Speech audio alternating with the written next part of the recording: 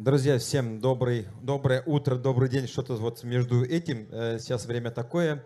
Э, у нас э, прошел уже один блог, и сейчас у нас, наверное, один из самых интересных блогов каждый год. Я это встречаю. Этноблогеры, этноблогинг на национальных языках, местные звезды, кто они и о чем они рассказывают. С вами в эфире фестиваль литератур народов России. Меня зовут Даниил Асакаев, Ногайское телевидение Республики Дагестан. Сегодня перед вами те люди, которые, несмотря ни на что, продолжают, начали, продолжают заниматься национальными блогами. И я думаю, сегодня всем нам будет интересно их послушать. Я хочу, чтобы мы каждого из них по отдельности поприветствовали. А, в гостях у нас блогер, автор и ведущий просветительских проектов Энетывам и Ишкинин Алчизы. Я боюсь даже неправильно выговорить. Может быть, Республика Тыва, Айдын Мангуш. Давайте его поприветствуем. А, далее у нас блогер, автор паблика на кумандинском языке Республика Алтай Айчус Баятова Набутова. Айчус, добрый день. Языковой активист из Республики Дагестан, автор блога об изучении аварского языка, руководитель проекта по изучению языков Дагестана Халам, Республика, соответственно, Дагестан, Марьям Шафиева. И Саха-блогер, соавтор приложения для изучения Саха, актер из республики, как вы догадались, Саха, Якутия, Лилия Бетшиген. А, примерно полчаса у нас по регламенту мы уделим общению с нашими блогерами. Минут 15 оставим на вопросы, поэтому готовьте вопросы, если таковые у вас появятся. Я буду задавать вопросы по очереди, я думаю, каждый из вас ответит. Вот вначале я хочу, чтобы вы коротко представились и рассказали, о чем ваши все-таки блоги. Айды, начнем с вас. Здравствуйте, Амр Менды все. Э, я из Республики Тава. Э, маленькая республика среди э, Саянских гор на границе с Монголией. И мы так спокойно, тихо живем. И плане языка у нас, э, у, у тувинцев, э, все нормально, пока что. Ну, есть слово «пока что». И все э, это, общаемся на родном языке, на тувинском. И я с 17 -го года открыл свой YouTube-канал, там снимаю свои передачи. И это вам это про про наши э, районы. Ну, у каждого района есть э, удивительные места, э, сакральные и про удивительных людей, проживающих, проживающих в этом районе и в селе и так далее. И вторая передача в формате интервью. Тоже с удивительными людьми нашей республики. Э, с артистами и спортсменами э, и борцами. Э, у нас национальная борьба хуреш есть самая такая популярная, популярный вид спорта. И что можно сказать? Ну, можно, я думаю, в принципе, достаточно мы узнали, да. Мы позже вернемся к вам еще. Айчус, пожалуйста, вам слово. О чем ваш блог? Э, всем привет, Эзинер. Э, меня зовут Айчус, я кумандинка родом с Алтая, с Республики Алтай. Э, я коротко покажу презентацию, так как я сама визуал. Я блогер, веду свои блоги на кумандинском языке. Кумандинцы — это коренной малочисленный народ Алтая. Нас менее трех тысяч человек осталось всего на планете. Так, а подскажите, пожалуйста. Угу. Давайте сидя да, все это да, сделаем. Да, да, мне просто не видно. Угу. Лучше сидеть, да? Да. А, хорошо. Ну, а, тогда я расскажу вкратце в целом. А, на самом деле я пишу на кумандинском а, языке и а, пишу на... Угу. Да, можно, пусть а, пролистывается. Вот расскажу немножко. Просто пишу о а, своей жизни на самом деле, чем я занимаюсь. Я а, общественница, а, я работаю в сфере этнотуризма. Мы э, проводим для гостей Алтая. Вы знаете, что Алтай как туристический регион э, очень хорошо развивается в последние годы. Проводим концерты, фестивали э, с командой и организуем фестивали республиканские и небольшие местные проводим также.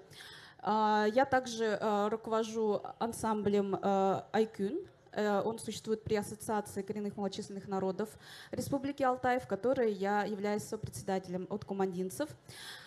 А, И на самом деле работа очень творческая, очень интересная. И когда я пишу... Во, начало листаться, отлично. А, Да, а, вот у меня... А, И, соответственно, а, самые... Мгм, мгм. А, Самые а, разные темы освещаю. Я пишу о фольклоре, а, я пишу а, о том, как нам удается либо не удается сохранять свой родной язык.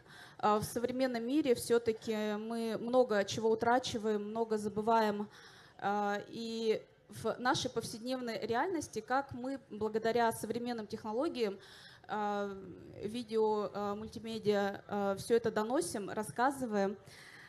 И работая с молодежью, знаете, меня так вдохновляет молодежь на самом деле. Они мне рассказывают, какие новые ресурсы, какие соцсети существуют, как все это продвигать в интернете.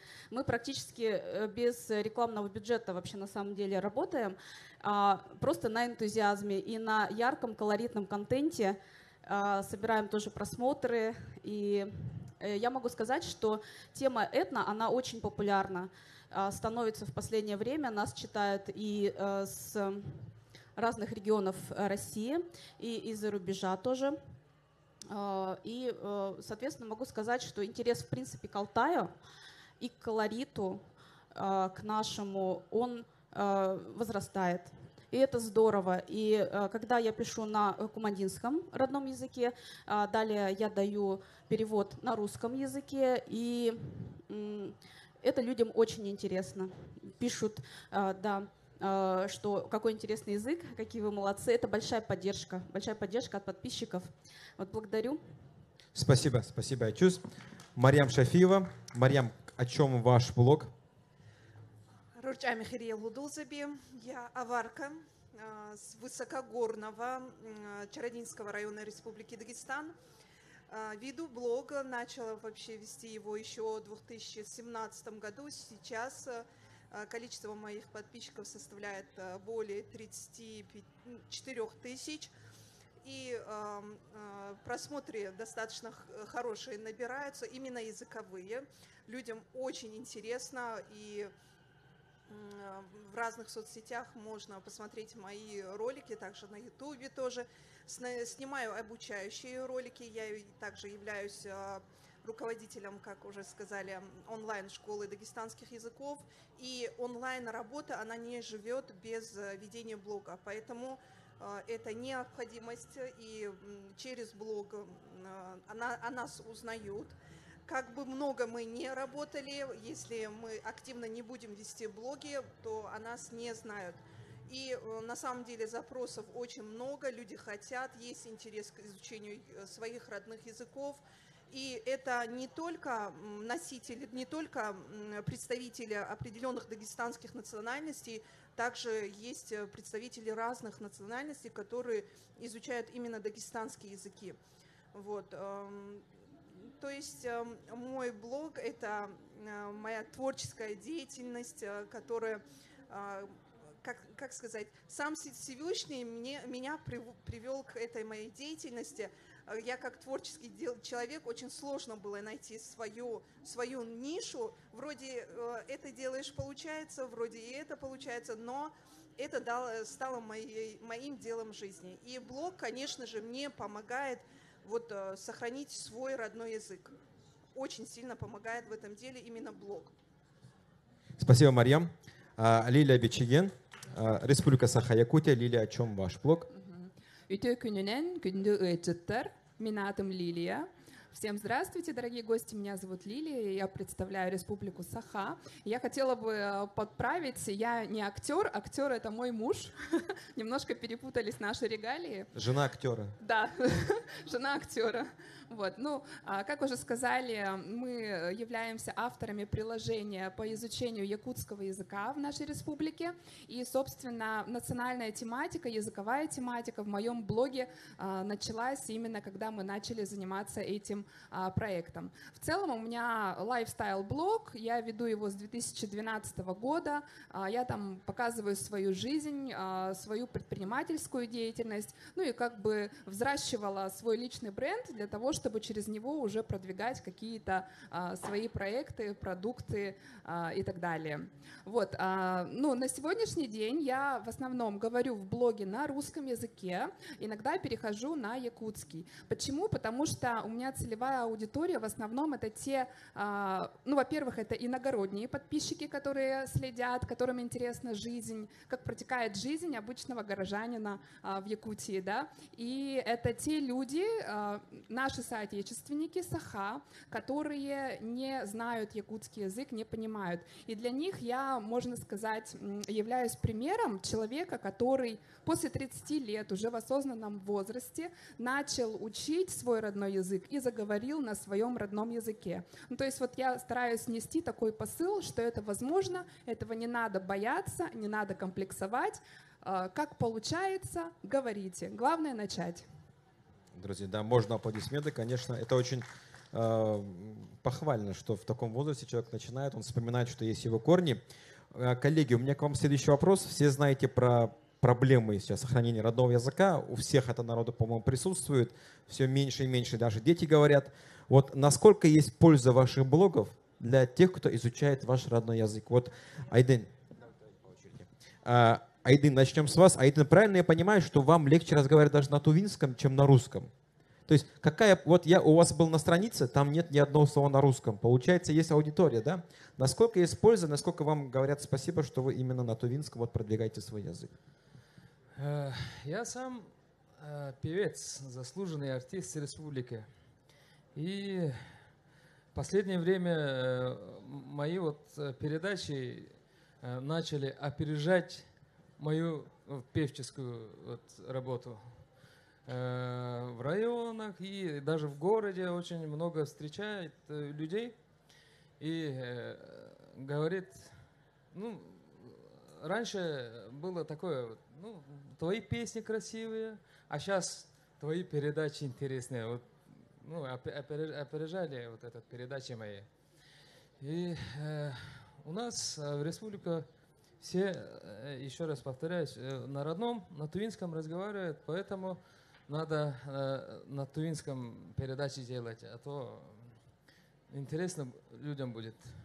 Ну, как замечали, я тоже по русскому языку не очень, ну, поэтому надо на тувинском и для детей. Но очень много комментариев э, внизу этих э, моих передач и видео, да, э, чтобы хотя бы субтитры на русском поставить. Ну, из Казахстана, из Якутии и Алтая, ну, нет туинская вот, аудитория просят, чтобы перевод делать. Ну, я этим тоже работаю. Но в следующее видео, наверное, в субтитрах будет выходить. И э, наша, де, наши дети что-то в последние 5-6 лет э, так быстро э, начали разговаривать по-русски, тоже тревожит. Но э, мои вот эти передачи про нашу Туву, про традиции, э, ну, если пройдет 30, 40, 50 лет, там этот как бы энциклопедия будет. Актуальность сохранится, да, как Но, э, наследие народа ну, будет, правильно я понимаю? Ну, в последнее время люди, э, это, дети, молодежь не читает же. Ну, визуальный вид, этот, э, вспомина, э, да, воспринимай, воспринимай. Ага. Вот поэтому э, я всегда даже не в передаче, и даже вот в соцсетях, и даже в моих концертах, и на работе. Я работаю в, в РЦНТД официально. И в работе, и в концертах я всегда на Тувинском. Мне легче на Твинском. Мы вам желаем удачи, Элен. Вы большой молодец, что действительно вот придерживаетесь одной линии. Спасибо. Айчус, как э, дело обстоит в Алтае с этим? Какая польза от вашей деятельности? Вот вы сейчас здесь визитки раздаете, как рекламу. Я шучу, конечно, это ансамбль, руководитель ансамбля. Какая польза, может быть, от, в танцах передаете, может быть, в речи?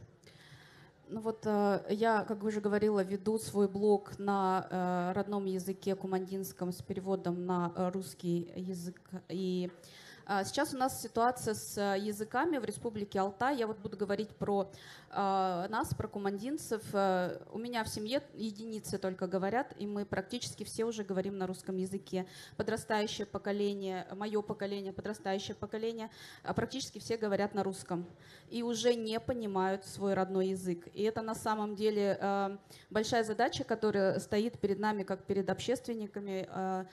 И мне пишут мои подписчики, пишут кумандинцы, которые никогда не говорили на своем родном языке.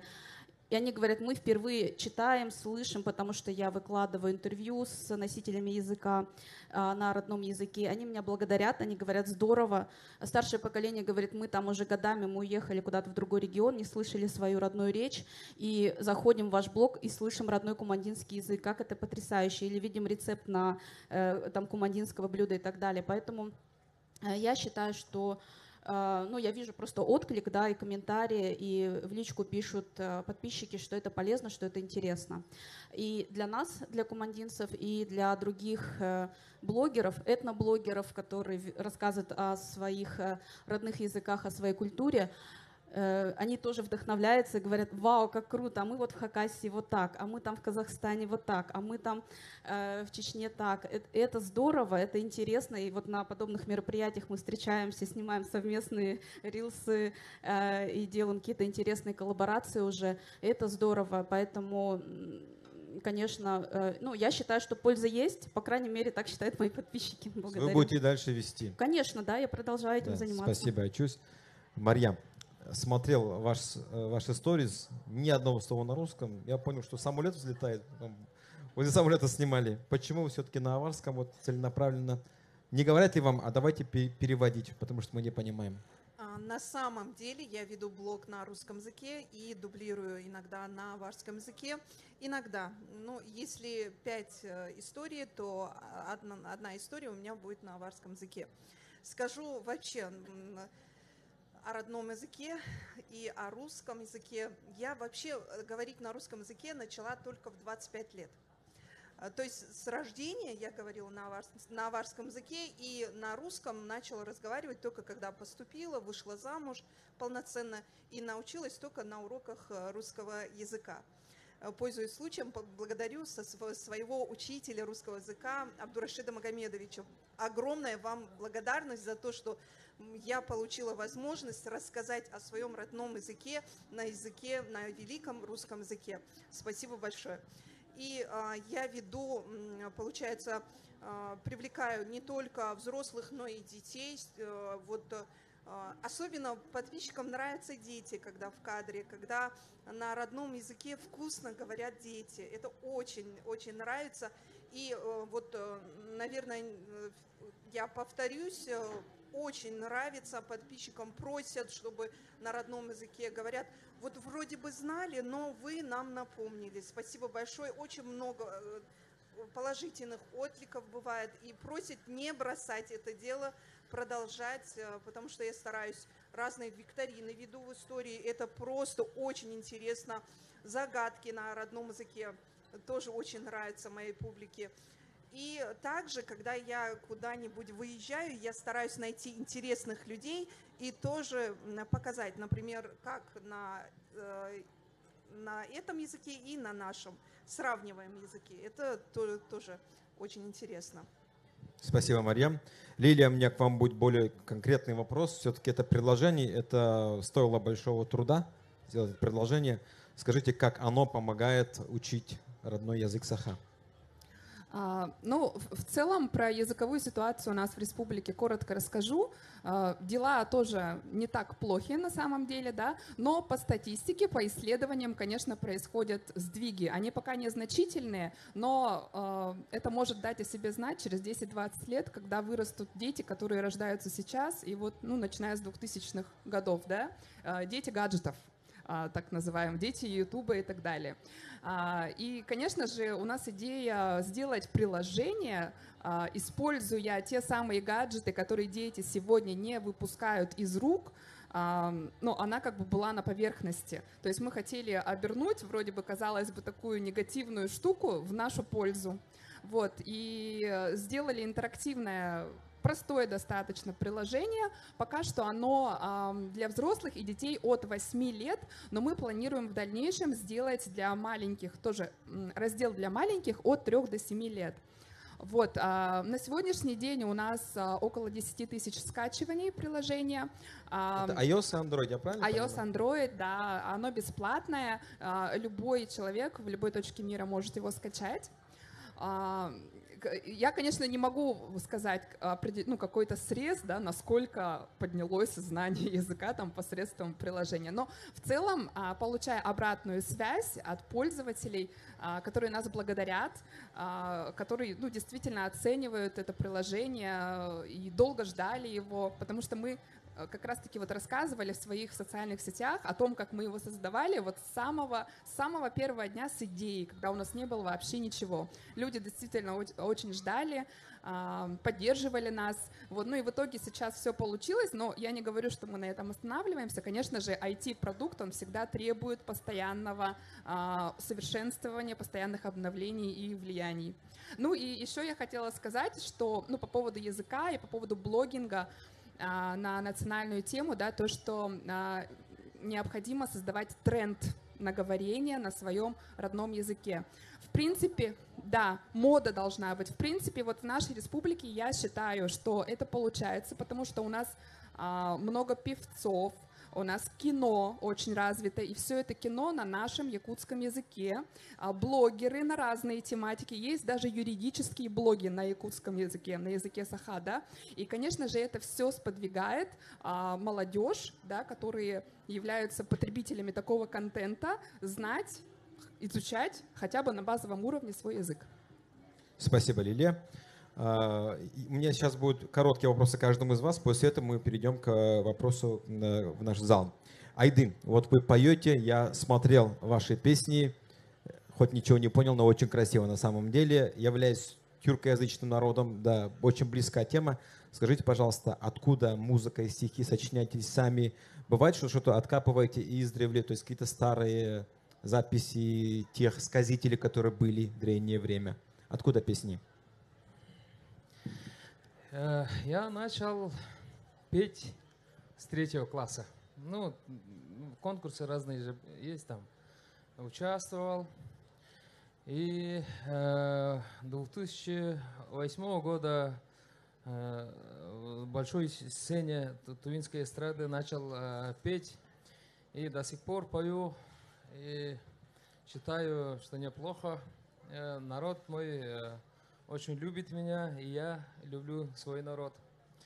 И э, в репертуар э, мой э, входят такие эстрадные песни, вот, ну, современные тоже есть, и э, этноэстрада тоже есть. И э, среди них э, народно, э, это, народные песни из народа, вот, ну, такие песни тоже э, пою.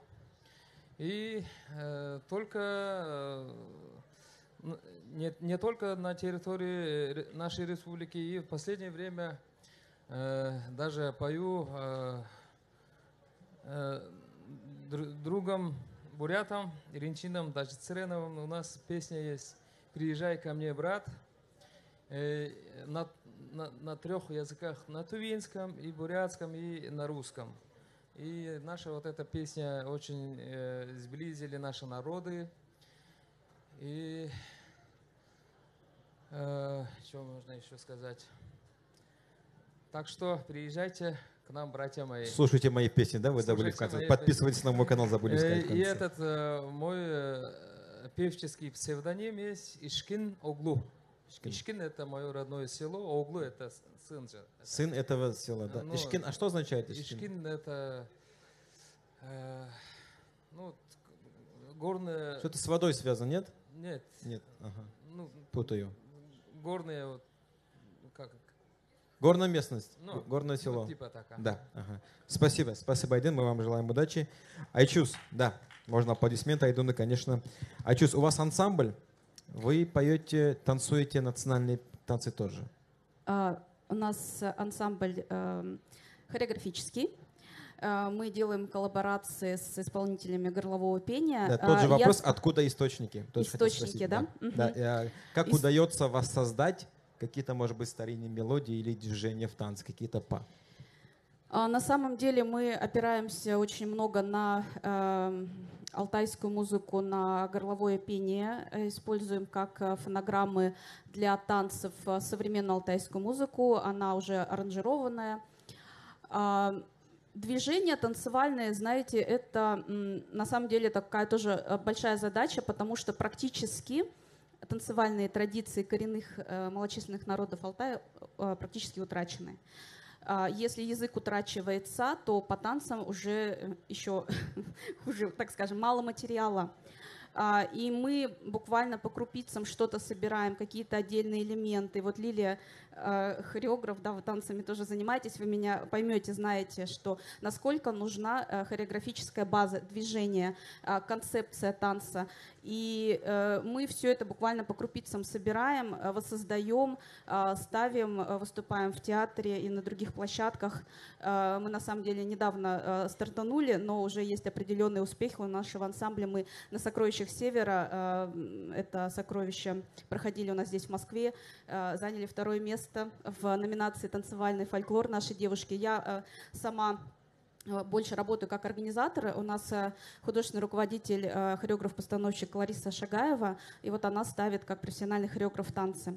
Вот. И поэтому работа, конечно, большая, проделана и предстоит еще больше, поэтому для нас это важно. Спасибо. Да, можно аплодисменты. Айчус, молод- молодцы. И последний вопрос. Вот элементы одежды. Что-то есть из э, того времени? Или вы уже сами уже придумываете? Или какой-то узор сохранился? Э, Знаете, это уже э, стилизация, но э, элементы этнографически сохранены. Вот, например, э, вот такой вот оберег бисерный, это женский оберег, такой фартук из бисера, кумандинский, национальный. Также вот платье у меня, меня тут спрашивают коллеги, говорят, а почему подол, передняя часть э, у вас э, короче, чем задняя? Я говорю, вот для того, чтобы вести хозяйство женщинам, чтобы удобно было наклоняться, элементарно, чтобы не запинаться об подол.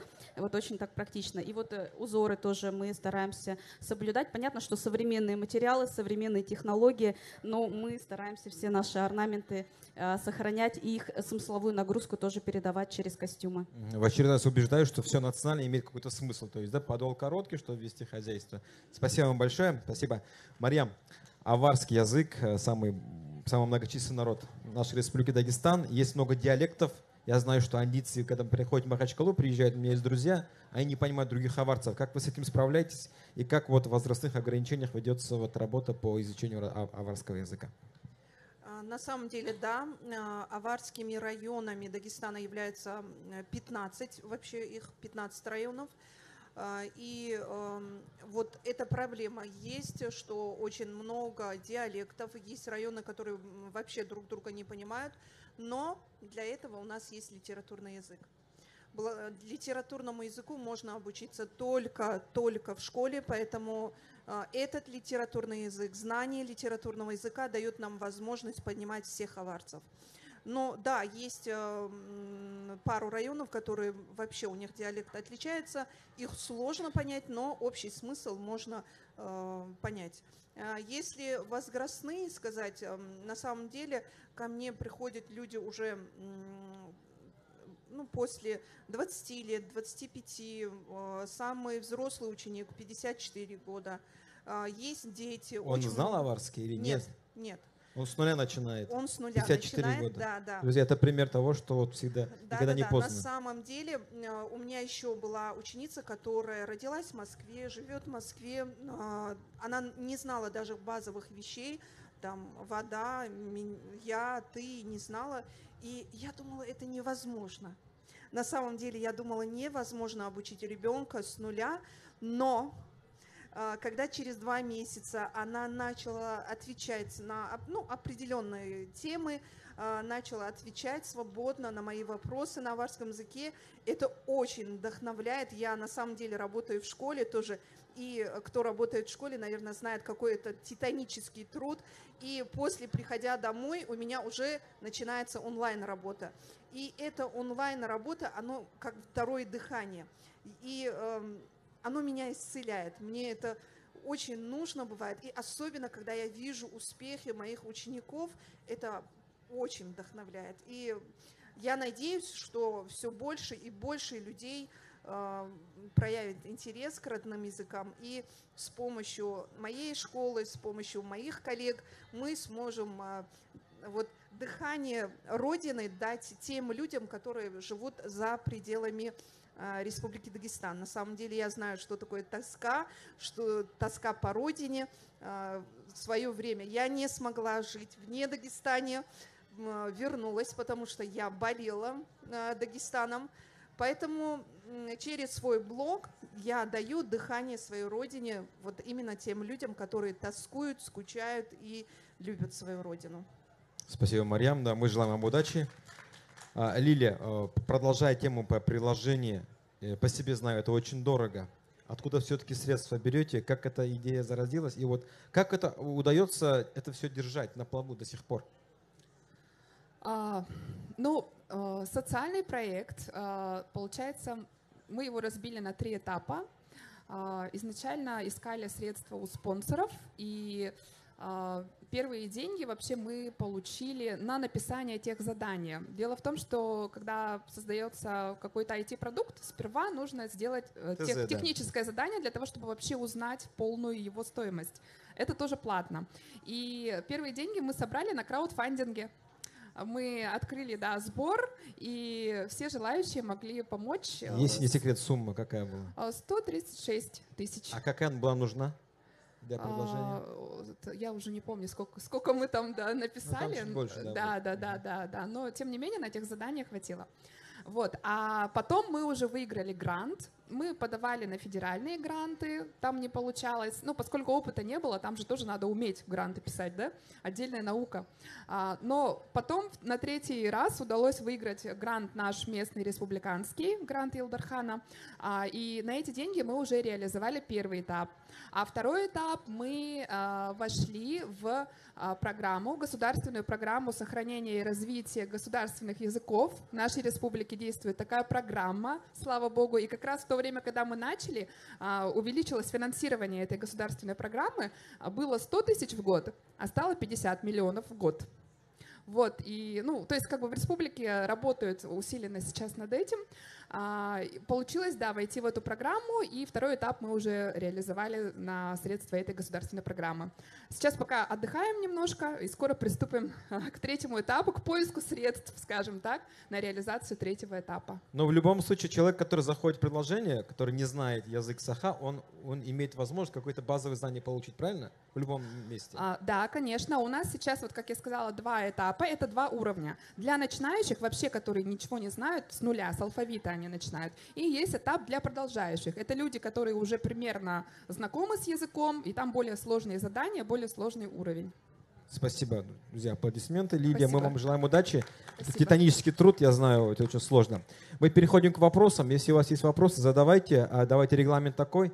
Э, Возьмите микрофон. Я думаю, нам, может, волонтеры помогут. А, Представляемся, говорим, кому задаем вопрос, либо всем одновременно. И, пожалуйста, представьтесь. А, Здравствуйте, меня зовут Эльдар. Ам, Во-первых, хотел бы вам сказать э, огромное спасибо за ту огромную работу, которую вы проделываете, каждый из вас.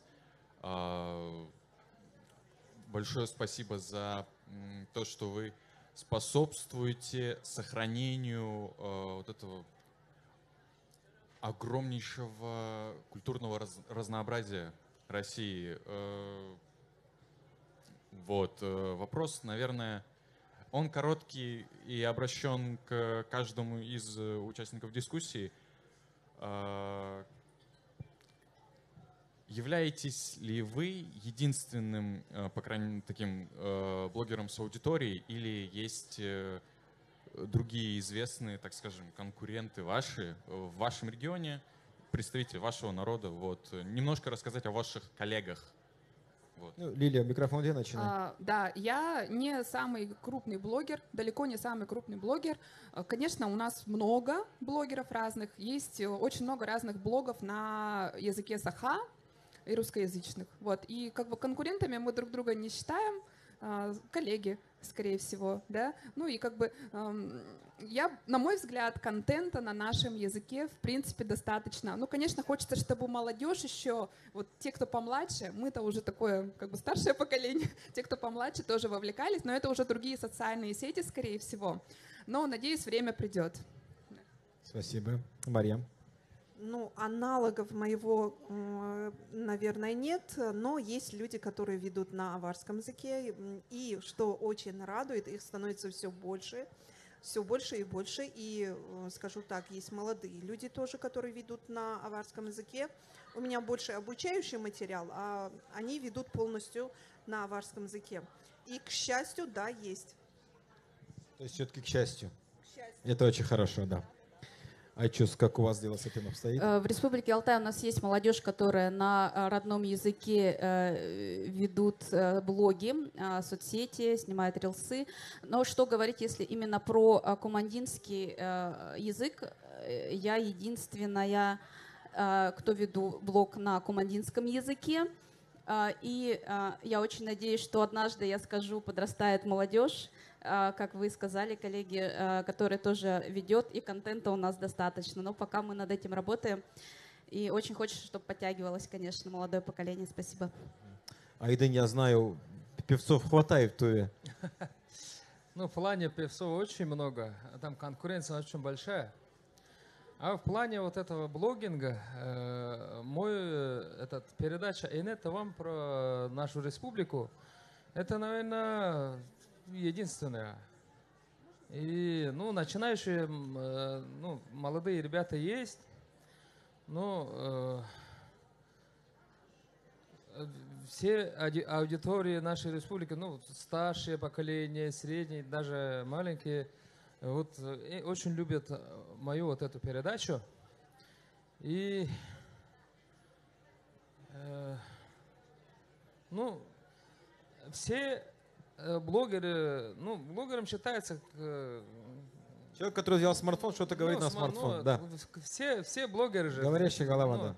И э, в нашем тувинском э, медиапространстве, ну, блогинге, все на тувинском, ну не все, ну 80% э, все на тувинском э, ведут блог- блоги.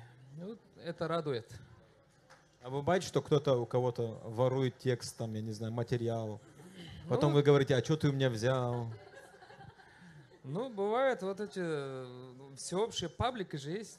Вот, вот они очень часто э, от э, моих э, видео э, этот, Использует. ну, используют. Ну, Да, это, нарез- это тоже хорошо. Да, да, конечно, это вы- значит, вы становитесь для кого-то примером, да. Да. Почему, к счастью, хотела прокомментировать, Марья? А, Скажу, почему, к счастью, а, в силу своей занятости, я, получается, до обеда на работе, после потом 5 часов свое онлайн-работу начинаю, у меня очень мало времени остается на блог. И запросов бывает очень много. Вопросов, как переводится это слово, как переводится это слово, как переводится это выражение. И мне сейчас очень, меня это очень радует, что появились люди, которые поделят со мной вот эту часть моей работы. То есть э, они будут выполнять э, ну, ту часть работы, которую выполняла я. Да, спасибо. А, и вопрос у нас есть? А, Здравствуйте, Шевчук Маргарита, журнал «Современная библиотека». А, Хотелось бы пару вопросов задать ко всем. Первое, подскажите, пожалуйста, конкретно сейчас, если оценивать как бы цели ваших блогов, они больше все-таки ориентированы именно на э, ваши этнические слои или все-таки на всю Россию? То есть я в том плане, чтобы не потерять свой культурное, свое культурное наследие, или уже все-таки перешел рубеж, чтобы наоборот распространить его дальше? То есть что сейчас все-таки важнее? Э, первый вопрос. И второй, подскажите, часто бывают же э, именно, что блогеры в наше время сотрудничают, да, то есть э, с театрами, музеями, библиотеками, знаете, там, опять же, вот... Коллаборациями. Да, да, да, то есть как сейчас, например, организуются какие-то разговорные встречи, может быть, снимаются какие-то отдельные видео, не знаю, какие-то обзоры каких-то фестивалей или что-то такое. Насколько активно вы участвуете в этих коллаборациях? Подскажите. Спасибо. У нас, коллеги, у нас по одной минуте на ответ, и потом мы уже заканчиваем. Мария, начните. А, скажу касаемо заинтересованности. Микрофон. Да, ближе, пожалуйста, чтобы вас слышали. Вопрос забыли? Вопрос был в том, что... А, первый, первый вопрос а, Какая цель сейчас у блога? То есть больше сохранить цель, цель. наследие или распространить его дальше? А, на самом деле я не хотела об, о печальном говорить, поэтому не упоминала об этом. А, основная задача моя сохранить все-таки, сберечь. Но и вторую часть тоже мы внедряем, потому что очень много а, как раз-таки у меня из 15 учеников 10 человек это не аварцы. Скажу так, среди них есть и русские, и белорусы, и есть один татарин, поэтому для всех интересно. Спасибо. Спасибо. Э, ну, давайте вот оттуда начнем по очереди. А, так, первый вопрос а, у меня скорее тоже распространить, но так как я вещаю на русском языке, то есть все, кто понимает язык, могут узнать о нас, о нашей культуре, в том числе о нашем языке. А, так, и насчет коллабораций. А, мы с мужем вообще очень активные общественники. А, с тех пор, как занимаемся приложением, стали языковыми активистами. А, состоим в нескольких разных сообществах по сохранению, по развитию языка. А, участвуем в, в разных съемках, коллаборациях. А вот я состою, например, еще в сообществе девушек, которые тоже создают контент на языке саха. Это в основном молодые мамочки. Вот мы показываем, как мы а, воспитываем наших детей на нашем языке. Вот. А, ну, в целом работа такая ведется. Колыбельные Спасибо. есть? Бывают среди вас? Кстати, у нас вообще колыбельные, да, они плохо сохранились. Ну, э, почему, почему-то их вот не записывали или не передавали, но последний год вот как раз из сообщества девушек-мамочек, Кёрегей называется, одна девушка сделала проект, они записали колыбельные, и пока через телеграм-канал распространяют их, якутские Отлично. колыбельные. То есть да. есть будущее, да? да. Спасибо большое. Так, э, про популяризацию я могу сказать, что э, я бы не стала выделять, что важнее сохранение или популяризация вовне а, нашей культуры, культуры и э, этнонаследия. А, я сказала бы, что это, наверное, равнозначно. И когда наша молодежь и вообще э, мои земляки видят, что со стороны э, такой большой интерес, когда пишут на английском языке, какая у вас потрясающая культура, горловое пение, танцы, какие вы замечательные, когда пишут наши сами земляки начинают гордиться этим, поэтому я считаю, что это равнозначно, популяризировать и сохранять свое наследие. А что касается коллаборации, знаете, я сейчас слушаю вас всех и думаю, что-то я, по-моему, отстаю, но мы уже начали снимать совместные рилсы, ролики э, прямо здесь, и очень здорово, что есть возможность выезжать на такие мероприятия. Благодарю вас. Спасибо, чувств. Айдин? Ну, на, э, мои передачи начались э, в начале только ради интереса. Ну, и, э, и для сохранения своих, своих традиций языка. А сейчас э, думаю, что распространить э, еще больше это круто. Ну, у меня был этот опыт в 22 году э, снимать в Монголии, в соседней э, вот, государстве. Вас недалеко, я так понимаю, ну, там. Там тоже живут этнические тувинцы очень много в разных аймаках.